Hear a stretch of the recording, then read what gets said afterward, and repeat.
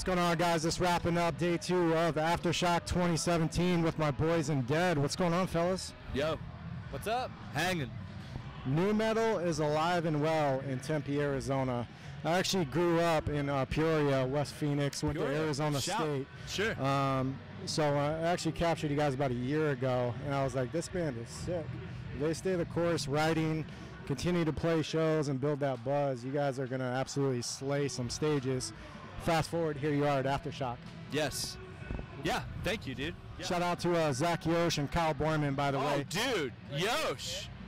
Absolutely. Powerline Management, good dude. Zach's Yeah. actually going to be speaking at a music conference we're hosting in San Francisco. Zach, is, uh, dude, I went to high school with Zach. He's Yeah. like, dude, I was in one of his uh, early movies, bro. He used to make movies.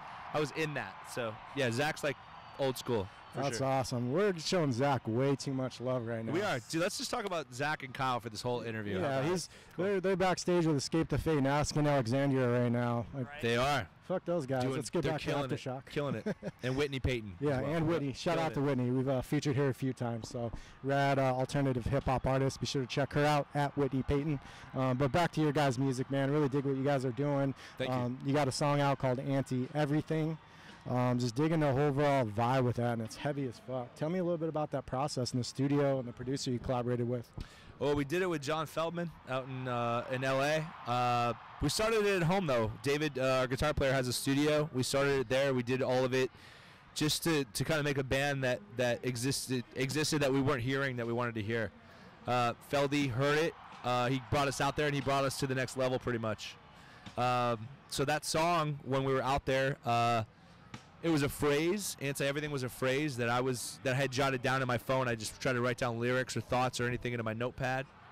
Uh, that that's the phrase that we that I went with for that song. So wrote everything around that. Or, uh, they had the dudes had, had put down the music for it, and uh, I just kind of wrote wrote to what they had put down. I dig it, man. I was talking with uh, Pat Thetic, the drummer for Anti Flag, earlier. Yeah, um, nice. he, he gave me his two cents on their uh, political movement going on. Right. Resist, um, but keep keep the good vibes going, man. So I really dig what you guys are doing. You got an album out called Misanthrope, Yeah. which that's obviously one of the leads. Um, you know, what's next for you guys? Obviously, you're doing this big tour, great opportunity to promote that record. Are you guys going back in the studio with John soon? Are you going to tour on this for a while, or what can we expect there? Well, the album album just came out about three months ago, so it, it, yeah, it's all about pushing this. Uh, we've done all these festivals. We did Rock on the Range all the way through Rock Allegiance, Carolina Rebellion, everything. We've done all of them. Uh, so to be out here and, and it's amazing. And shout out to uh, Danny Wimmer presents. Yeah, Like, Clay Bush and Danny are killing Clay, this. exactly, yeah, exactly. Gary as well, and uh, we're just having the best time doing these shows. The reception's been amazing. Um, we're, we're after this, we do the Loudwire Awards.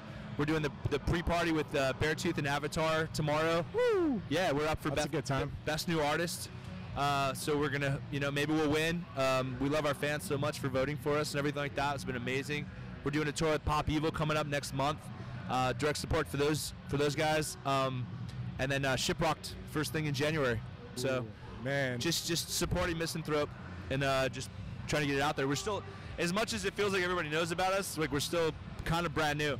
You know what's cool about that though? If you write great songs and you connect with people on stage and then on your records, you know, sky's the limit. And I think you guys do that. Um, that's why I thought I saw a show a year ago. These guys just put out a record in July, um, so it's been more recent than that. So it's cool to see the progress, um, and it comes off very organic and genuine. Um, you know, you got 50,000 people here that were rocking you guys. You guys played Capitol Stage earlier. Um, Right. Tremendous crowd there. Um, so it's cool to see that progress in such a short time. I would agree. 100%. Uh, it's wild to see all the progress so quickly. It's just, especially with their album being out only three months, it, it means a lot. It's wild. Well, you certainly got some uh, newfound fans here at rockstardreams.com in San Francisco. Uh, we appreciate the time, guys. We're just wrapping up here at Aftershock, hanging with my boys in DED. Be on the lookout for that record. Tune in to Loudwire Music Awards, which are happening in LA. Yep. Vote for these guys, support them, get that merch. Thanks for watching us. Stay tuned for more. Thank you.